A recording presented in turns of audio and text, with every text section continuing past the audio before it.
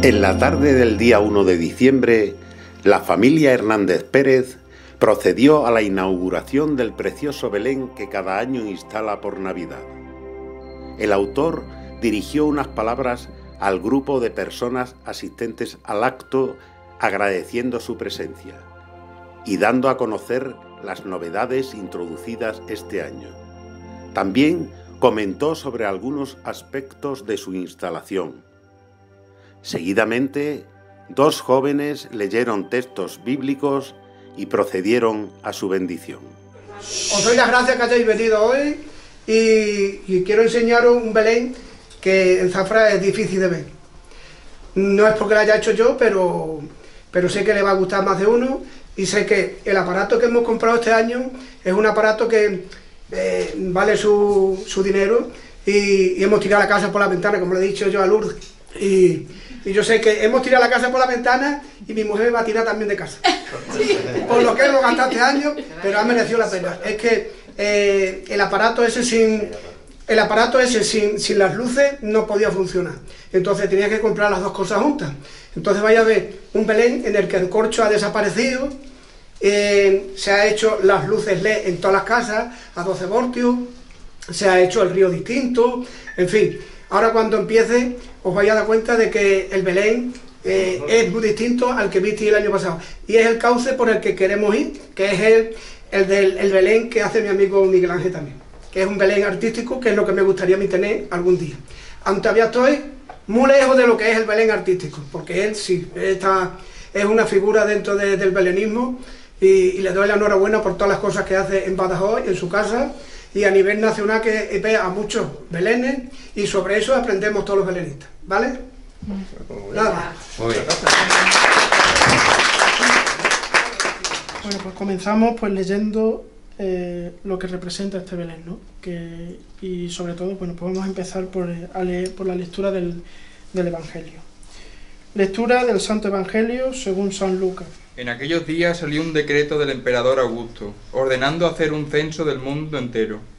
Este fue el primer censo que se hizo siendo Cirino gobernador de Siria, y todos iban a, inscribirse, cada cual a su ciudad. También José, que era de la, casa, casa y familia de David, subió desde la ciudad de Nazaret, en Galilea, a la ciudad de David, que se llama Belén, para inscribirse con su esposa María, que estaba encinta. Y mientras estaban allí le llegó el tiempo del parto, y dio a luz a, luz su hijo primogénito, lo envolvió en pañales y lo acostó en un pesebre, porque no tenían sitio en la posada. En aquella región había unos pastores que pasaban la noche al aire libre, velando por turno su rebaño. Y un ángel del Señor se les presentó. La gloria del Señor los envolvió de claridad y se llenaron de gran temor. El ángel les dijo, No temáis, os traigo la buena noticia, la gran alegría para todo el pueblo. Hoy, en la ciudad de David, os ha nacido un Salvador, el Mesías, el Señor. Y aquí tenéis la señal. Encontraréis un niño envuelto en pañales y acostado en un pesebre. De, de pronto, en torno al ángel, apareció una legión del ejército celestial que alababa a Dios diciendo, Gloria a Dios en el cielo, y en la tierra paz a los hombres que Dios ama. Cuando los ángeles le dejaron, los pastores se decían unos a otros, Vamos derechos a Belén, a ver eso que ha pasado y que nos ha comunicado el Señor. Fueron corriendo y encontraron a María, y a José y al niño acostado en el pesebre. Al verlo, les contaron lo que les habían dicho aquel niño. Todos los que lo oían se admiraban de lo que decían los pastores, y María conservaba todas estas cosas, meditándolas en su corazón.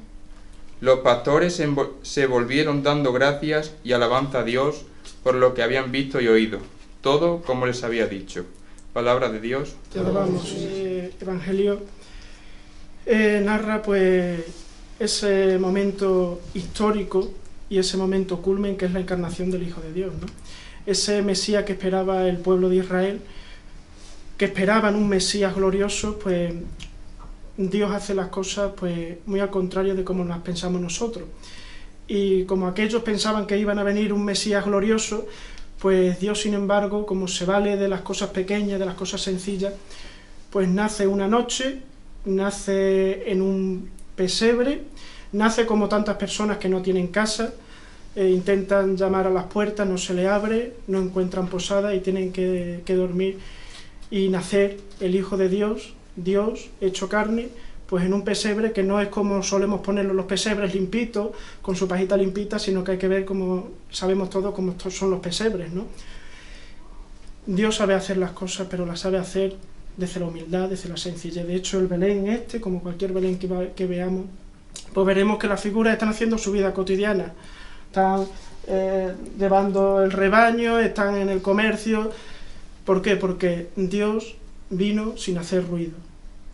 Y es curioso porque para acercarse a Dios hay que ser niño.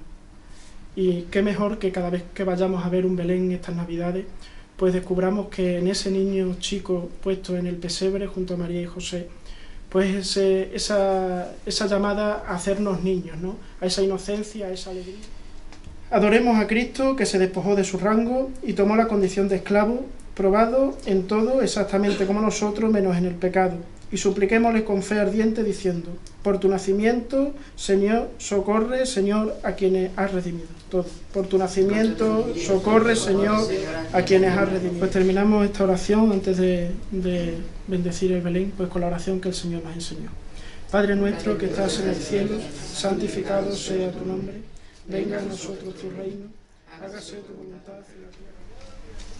Señor y Dios nuestro, que cada año nos alegras con la fiesta esperanzadora de nuestra redención, así como ahora acogemos gozoso a tu Hijo como Redentor, concédenos recibirlo también confiado cuando venga como juez. Y te bendecimos, Señor, por este Belén que hemos preparado para recordar el nacimiento de tu Hijo, nuestro Salvador Jesucristo. Por Jesucristo nuestro Señor. Amén.